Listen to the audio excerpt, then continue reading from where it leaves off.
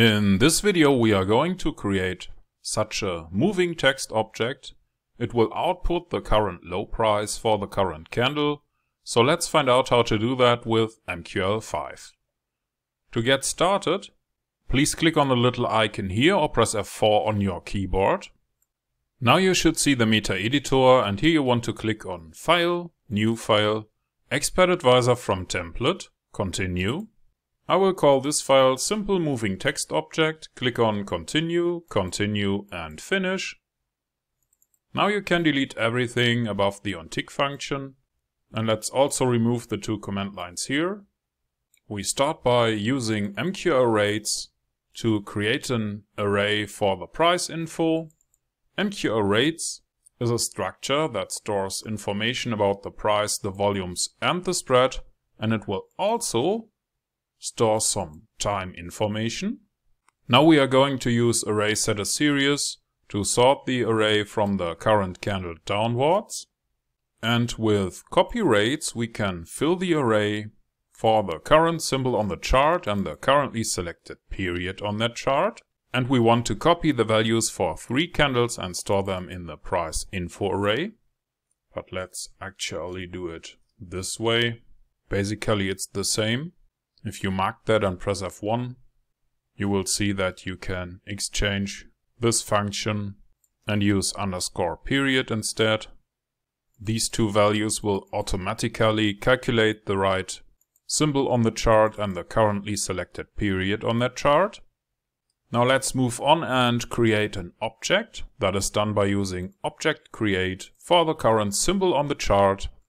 The object name will be moving text this is the object type.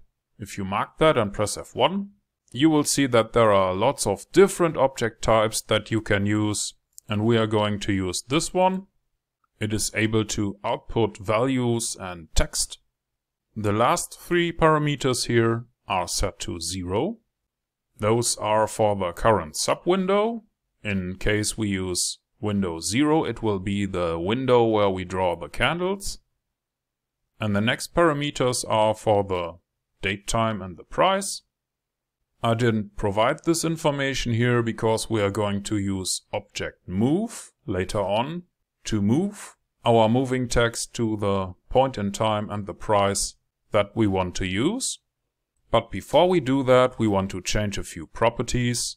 In this case, we use object set integer for the chart ID 0 and the object that is called moving text. We want to change the object property font size and set it to 8. Let's repeat that, this time for the font color. The first two parameters are the same.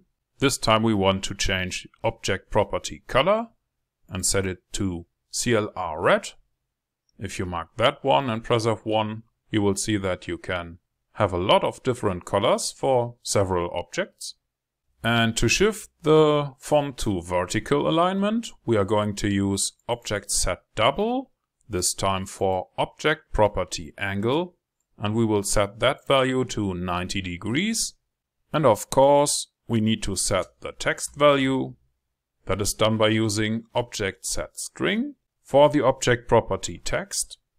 And the text will be low, followed by a colon, and this expression here will give us the low price for the current candle. Now our object is finished, so let's move it. And to do that we use object move. The first parameters are the same. The third parameter is for the alignment, or I think they call it the anchor point. We are going to move our object to the point in time where we print candle 0 and we want to align it to the low price of candle 0, that's the current candle. And that's basically it. If you have no idea what all the code here does, or if this was too fast for you, maybe you would like to become a premium course member, you can do that on our website.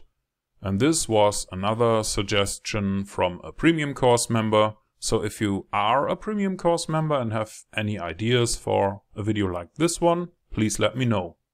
Let's click on View, Toolbar, and press the Compile button, or you can also use F7. We don't have any errors and in that case we can click on a little button here or press F4 to go back to MetaTrader.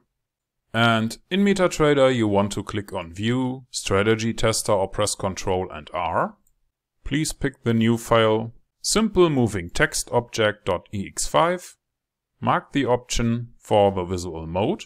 You might need to drag the strategy tester panel a little bit to see all the options. Here is the visual mode. Now let's click on start to start your test. Here we are.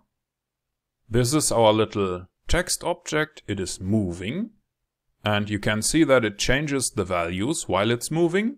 And in this little video you have learned how to create a moving text object and you have coded it yourself with a few lines of MQL5 code.